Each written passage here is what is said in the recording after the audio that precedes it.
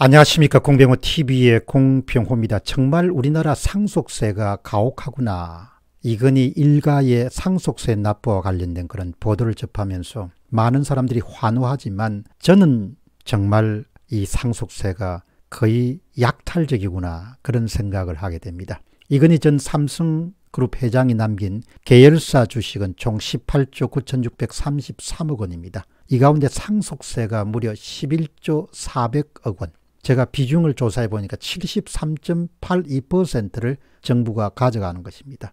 이 같은 그에게 상속세는 최고 상속률 50%에다가 또 지배주주의 지분 상속인 같은 경우는 최대 주주 활정률 20%가에 대해서 이 같은 금액을 납부해야 되고 이들은 대부분 계열사 주식들로 구성되기 때문에 경영권 유지에도 상당한 어려움이 있을 것으로 봅니다. 또한 나머지 상속세 1조 원 가량은 부동산 등에 매겨졌습니다. 이 같은 엄청난 규모는 국내, 국외적으로도 최고의 규모이자 최대 규모입니다. 세상 사람들은 돈이 많은 사람들이니까 그 정도는 납부해야 되지 않겠느냐 이렇게 이야기합니다. 그런데 다른 생각을 가지신 분들도 꽤 많습니다. 한 분이 삼성 일가 상속세 12조 최고세율 50% 다시 세금 폭탄 논란이라는 중앙일보의 기사를 보고 자신의 의견을 조심스럽게 피력했습니다.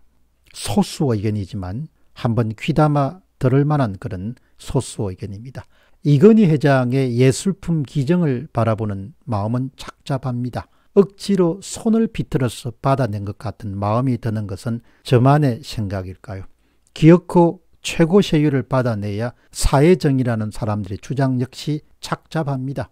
기업은 정부처럼 황금알을 낳는 기계는 아니기 때문입니다. 기업 구조 지배를 유지하기 위해서 예술품까지 내놓는 모습에 팔을 내주고 목숨을 구하는 비장함이 느껴집니다. 세금 수입 20%를 담당하는 삼성이 언제까지 알을 낳는 역할을 하게 될지 100년 후는 고사하고 10년 후에 되어도 알게 될 것입니다. 10년 후만 되어도 알게 될 것이라는 것이죠. 온 국민이 응원해도 모자랄 판국에 앞다투 바지가랑이 자꾸 넘어지는 늘어지는데 중국 기업, 미국 기업들과 제대로 경쟁할 수 있을지 감옥에 있는 이재용이 이 나라를 포기하지 않기를 빕니다. 이런 아주 어, 이 한호하는 그런 대다수 의 견과 다른 소수 의견을 제시를 했습니다. 12조 원에 가까운 상속세를 내기 위해서 대출을 해야 된다는 소식을 접한 한 분은 또 이런 소수 의견을 제시합니다. 가진 자의 무조건적 질시와 정오,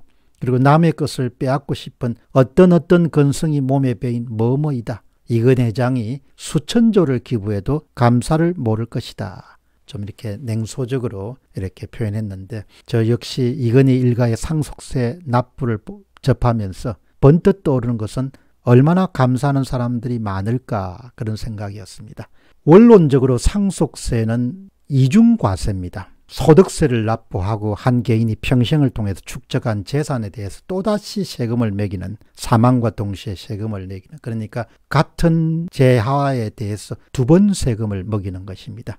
이처럼 가혹한 상속세를 고칠 일은 노력도 그동안 좀 있었고 목소리도 높았지만 한국 사회 다수의 그런 지지를 받기는 힘들 것으로 봅니다. 예를 들어서 10조 원의 자산이 사업가의 수중에 있다면 재투자의 재원으로 활용될 가능성이 굉장히 높습니다. 재투자가 되게 되면은 투자 성수 효과가 있기 때문에 10억이 투자가 되면 뭐 100억, 1000억, 1조 이렇게 확대 재생산 재원으로 종잣돈으로 사용될 수 있죠.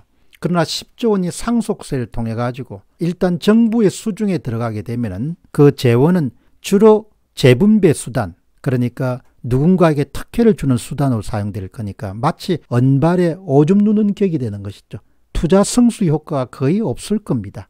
그러니까 우리 용어로 표현하면은 그냥 닦아 먹고 써버리는 것이죠. 자본 축적에 의한 투자 효과에 대해서 깊은 우려를 표하는 사람들이 우리 사회에 얼마나 되겠습니까? 자본이 축적이 돼가지고 축적된 자본이 있어야 그것이 투자가 돼가지고 투자 성수 효과 뭐 10배, 100배 이렇게 성수 효과를 나온 거죠. 결국 삼성전자라는 것이 기본적으로 막대한 돈을 투자했지만 나중에 그 투자 성수 효과가 수천 배, 뭐 수백 배 이렇게 나온 경우지 않습니까? 그러나 그 재원이 똑같은 재원이 삼성전자에 1조 원 투자된 거하고 그 재원이 그냥 재분배 수단으로 서로 나누어 먹는 수단으로 사용된 건 너무나 큰 차이가 있는 것이죠. 투자 성수 효과가 수배, 수십 배, 수백 배가 될 수 있는 재원이 그냥 선심성 공략을 조달하는 자원으로 사용되어서 소리 소문 없이 그냥 사라지고 마는 것이죠. 이런 문제에 대한 고민을 얼마나 많은 사람이 하겠냐. 특히 이재용 부회장 등 유족들이 물려받은 상속 재산의 대부분은 삼성전자, 삼성생명, 삼성물산 등 계열사 지분이 대부분입니다.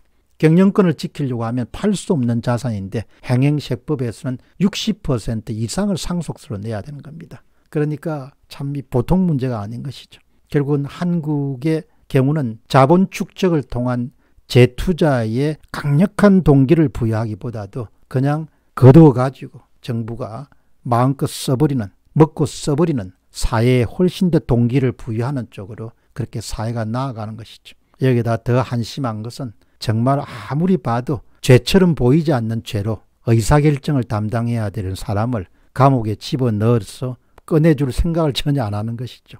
결국 이런 것을 보면은 사회든 국가든 민족이든 자기가 갖고 있는 생각의 범위, 시야의 범위 내에서밖에 살 수가 없는 것이죠. 결국은 정말 귀한 것이었구나, 정말 고마운 존재였구나 이런 것은 체험을 하고 나서 이제 깨우치게 되겠죠. 예, 우리가 무슨 일을 지금까지 해온 거냐 이런 것은 직접 어려움을 겪고 난 다음에 그때 비로소 깨우칠 것이다. 많은 분들이 이건희 일가의 상속세 납부에 대해서 다 뭐 이런저런 다 찬사를 보내지만 정말 자본 축적 자체를 원천적으로 이렇게 제약하는 사회가 앞으로 얼마나 이렇게 건실한 발전을 계속하겠느냐. 중소기업 같은 게 이런 경우를 만든 경우는 이런 가혹한 그런 상속세 제한에서 벽에 나가겠습니까? 사람들은 지금 얼마든지 나라를 선택할 수 있는 그런 시대를 살아가니까. 공병호 TV의 공병호였습니다. 감사합니다.